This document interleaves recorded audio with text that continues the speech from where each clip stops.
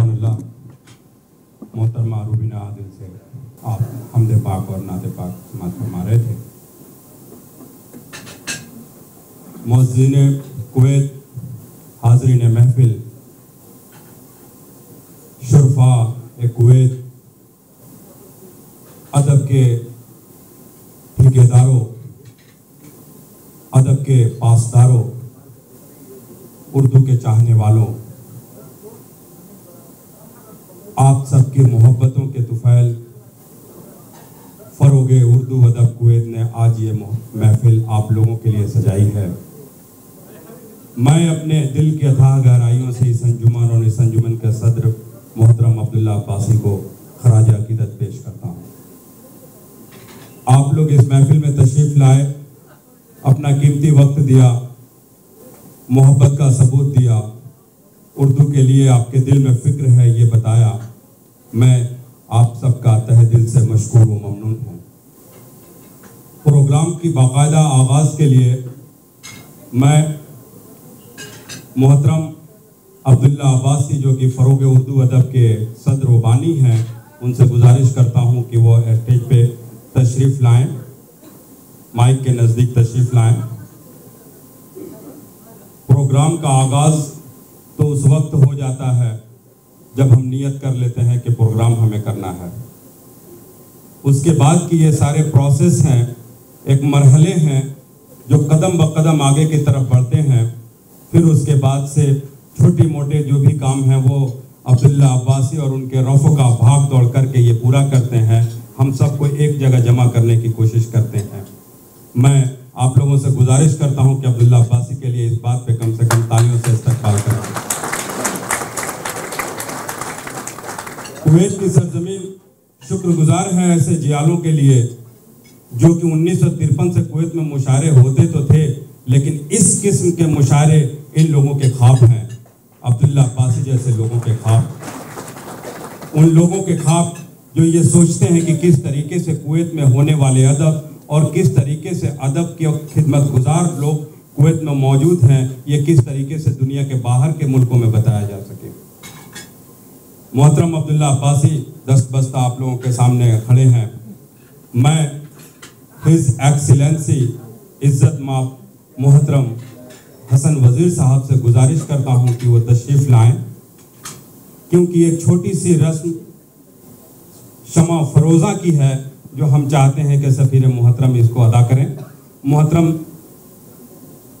हसन वज़ीर साहब को मैं गुजारिश करता हूँ कि वो तशरीफ़ लाएँ। अब्दुल्ला अब्बासी साहब, यहाँ आ जाएँ आप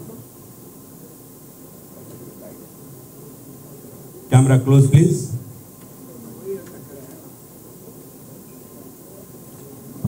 ये शमा फरोज़ा की ये रस्म,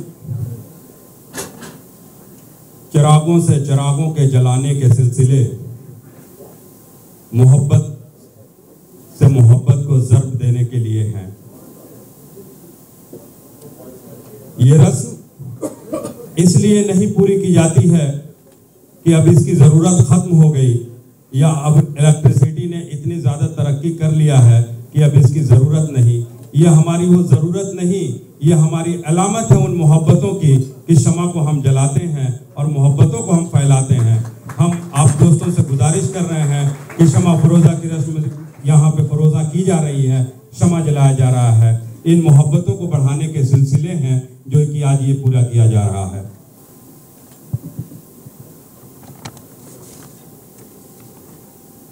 हौसला हो जो हवाओं को तो आकर देखे।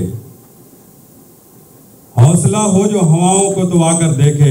एक चिराग और सरे राह जलाया मैंने।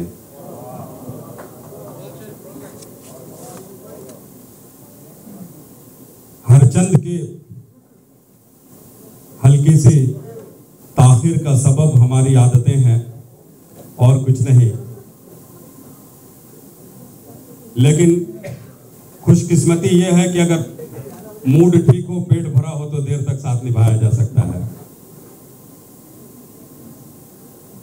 मैं गुजारिश करता हूँ कि आप हजरात तशरीफ़ रखें।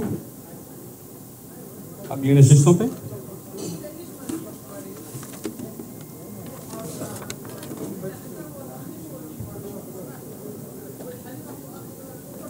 आप लोग अगर हमें इजाज़त दें तो मैं अपने मेहमान शोरा को आप लोगों के रूबरू कर दूँ, ताकि बहुत ज़्यादा देर तक मैं यहाँ पे हायल न रहूँ। शुक्रिया। खलीजी ममालिक, में मुशारों की रवायत बड़ी पुरानी है, और खलीजी ममालिक के हर मुल्क में मुशारे होते हैं। अब तो करीब करीब साल में हर मुल्क में तीन चार मुशारे होने लगते हैं। इन मुशारों की बढ़ती हुई फहरिस्त में जब काबिल कदर लिखने वालों का ज़िक्र होता है तो टॉप टेन में हमारे दोस्त अज़ीज़ नबील का ज़िक्र होता है। वो अज़ीज़ भी हैं, नबील भी हैं। मैं उनसे गुजारिश करता हूँ कि माइक पर तशरीफ़ लाएँ। दिया खामोश है, लेकिन किसी का दिल तो जलता है। चले आओ जहाँ तक रोशनी मालूम होती है।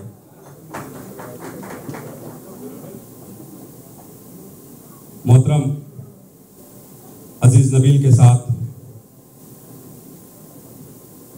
बहरीन से हमारे नहायत ही मुखलिस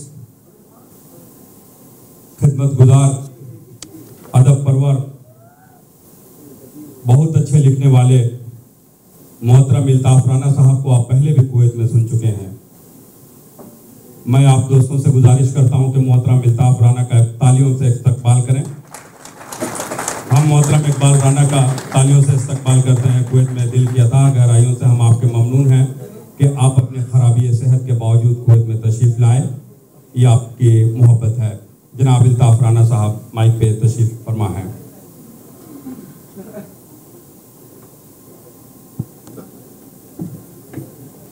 दोस्तों, मैं अब जिन हजरात को बुलाने जा रहा हूँ उनके लिए मैं कुछ कहूँ तो ये वक्त का भी बर्बादी है और अल्फाज का भी जिया। मैं नहीं चाहता कि मैं अपने छोटे कद और छोटी मुँह बड़ी बात करते हुए उन चिरागों को, उन आफ्ताब को मैं चिराग दिखाऊँ। ये हमाकत मेरे अंदर नहीं है। मैं बस इतना ही कहूँगा कि सफ़र में धूप तो होगी जो चल सको तो चलो। सभी ये भीड़ में तुम भी निकल सको तो चलो। यहाँ पे रास्ता देता नहीं किसी को कोई। मुझे गिरा के अगर तुम संभल सको तो चलो। आपकी बेशुमार तालियों में मैं माइक पे तशरीफ़ ला, लाने के लिए गुजारिश करता हूँ मोहतरम निदा फाजली साहब से। मैं गुजारिश करता हूँ कि आप लोग तालियों से इस्तेमाल करें। मोहतरम निदा फाजली साहब। का शुमार दुनिया के उन शुरा में होता है, जिन्होंने उर्दू अदब के लिए सिर्फ़ अपना वक्त नहीं दिया, अपना जहन दिया, अपना कलम दिया। और इस तरीके से इन्होंने अदब की आबियारी की कि आने वाली दुनिया, आने वाली नस्लें इन अदब पे फख्र करेगी। मैं मोहतरम निदा फाजली साहब का कुवैत के इस दयार में इस्तकबाल करता हूँ। मोहतरम निदा फाजली साहब, जो कि बच्चे से मोहब्बत करने के लिए, अपनी शायरी के लिए बहुत मारूफ हैं। और खुले दिल के मालिक मोहतरम निदा फाजली का हम कुवैत में इस्तकबाल करते हैं। मैं यहाँ पे चूँकि नाजिम नहीं हूँ, इसलिए मैं निज़ामत के वो फ़राज नहीं पूरा करूँगा। इसके लिए हमारे दोस्त, काबिल दोस्त जब निज़ामत में आएँगे तो निदा साहब की फ़न और शख्सियत पर भरपूर रोशनी डालेंगे। लेकिन मैं अब आप लोगों से इजाज़त चाहने के पहले मैं ये ऐलान करना चाहता हूँ कि आज इस मुशारे की सदारत पाकिस्तान के नहायत ही काबिल और सीनियर शायर मोहतरम अमजद इस्लाम, अमजद साहब के जिम्मे सौंपी गई है। मैं गुजारिश करता हूँ मोहतरम अमजद इस्लाम, अमजद साहब से कि वो माइक पे तशरीफ़ लाएँ। आप लोगों से गुजारिश करता हूँ कि तालियों से इस्तकबाल करें। ऐसे, ऐसी शख्सियात से मुलाकात, ये हमारी खुशकिस्मती है। मैं फख्र करता हूँ अपने आप पे और आप दोस्तों पे कि आपने इतनी बड़ी शख्सियात के साथ आज शाम गुजारी है। शाम मनाने का आपने जतन किया है। और मुशारे को कामयाब करने के लिए आप लोगों ने गारंटी ली हुई है। आने वाली नस्लें तुम पे नाज करेंगी आए लोगों।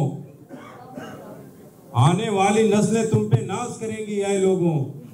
जब उनको ये पता चलेगा तूने फराक को देखा है तुमने अमजद को देखा है तुमने निदा को देखा है। मैं इस्तकबाल करता हूँ, मोहतरम जनाब निदा फाजली साहब का। मोहतरम जनाब, अमजद इस्लाम, अमजद साहब का अल्ताफ राना साहब का, अज़ीज़ नबील साहब का कि आप कुवैत में तशरीफ़ लाए। आपकी वजह से हम लोगों को हौसला मिला। मैं उम्मीद करता हूँ कि आज आप दोस्तों की मौजूदगी में आज का ये प्रोग्राम एक तारीखी प्रोग्राम होगा। साथ ही मैं अब्दुल्ला अब्बासी सदर फ़रोग उर्दू अदब से गुजारिश करता हूँ कि वो माइक पे तशरीफ़ लाएँ और अगर अपने आगे की कार्रवाई को आगे बढ़ाते, बढ़ाने के लिए मोहतरम जनाब अब्दुल्ला अब्बासी साहब माइक पे तशरीफ़ लाइए। शुक्रिया अज़ीज़ भाई, दोस्तों, वक्त काफ़ी हो चुका है। मैं कोशिश करूँगा कि हमारे खालिद भाई ने जितना वक्त दो गज़लों को पढ़ने में लिया है, मैं एक ही गज़ल में उतना वक्त ले लूँ। मतलब समाप्त फरमाएँ। बिल्कुल मैं तरन्नुम के साथ पढ़ूँगा क्यों? कि हमें कुछ सुनना है आज अपने मोहतरम मेहमानान को। मतलब फरमाएँ खालिद कश्तियों से।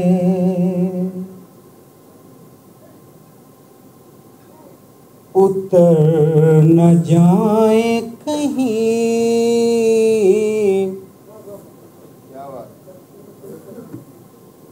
कश्तियों से। उतर न जाए कहीं कश्तियों से। उतर न जाए कहीं। लोग तूफ़ान से डर न जाए कहीं। लोग तूफ़ान से कश्तियों से। जिया साहब। अशरफ जिया साहब से मैं मुलतमिस हूँ। शेर पेश है। कश्तियों से उतर न जाए कहीं।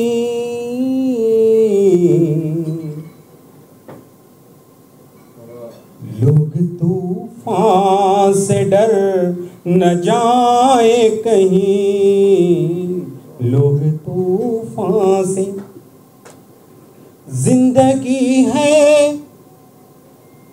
कि आग का दरिया।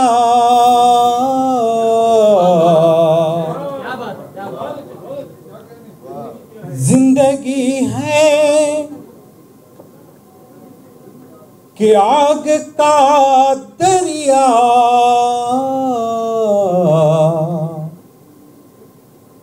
शिद्दत हम से मर न जाए कहीं। शिद्दत गम से ज़िंदगी है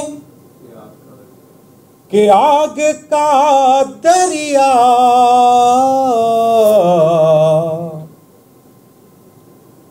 शिद्दत हम से मर न जाए कहीं। शेर सुने। मुझे उम्मीद अगर हो जाए कि आप सुन रहे हैं तो फिर मुझे ये त, ये तमाशा की ज़रूरत ना पड़ेगी ज़िंदगी बरंगे तमाशा बुरी नहीं जौके नज़र मिले तो ये दुनिया बुरी नहीं। आप इस बात का सबूत देते रहें कि आप सुन रहे हैं। मैं बिल्कुल तमाशा नहीं करूँगा। शेर समाज फरमाए जिनको जुल्मत ने बाँध रखा है चांदनी में बिखर न जाए कहीं। चांदनी में जिनको जुल्मत ने बाँध रखा है, चांदनी में बिखर न जाए कहीं। रोक अशकों को अब सरे मिशगा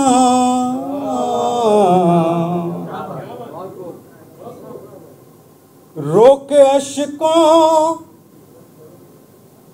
को अब सरे मिजगा।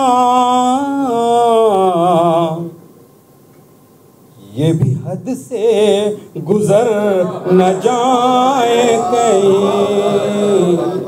रोक अशकों को अब सरे मिशगा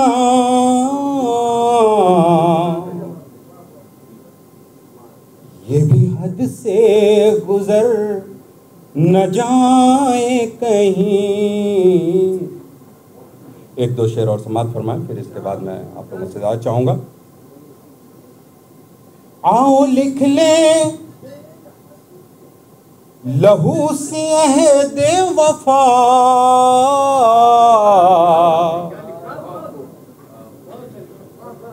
आओ लिख ले। लहू से दे वफा। कौल से हम मुकर न जाए कहीं। कौल से हम आओ लिख ले। लहू से है दे वफा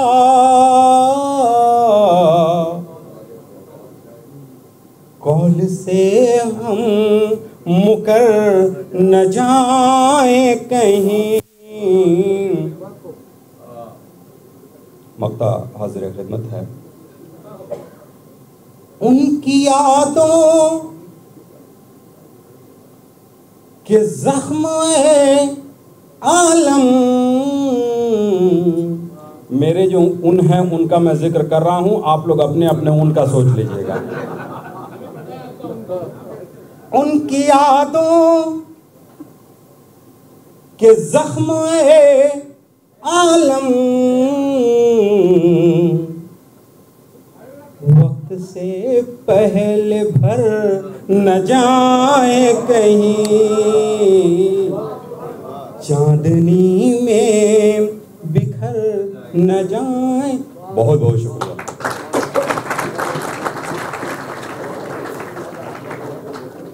ज़िंदगी है कि आग का दरिया, शिद्दत गम से मर न जाए। और जिनको जुल्मत ने बाँध रखा है, चांदनी में बिखर न जाए कहीं। अफरोज़ आलम अपनी खूबसूरत शायरी और ख़ूबसूरत तरन्नुम से माहौल को दुआतिशा बना रहे थे। और लोग भरपूर लुत्फ़ ले रहे थे। हजरात मेरी फहरिस्त में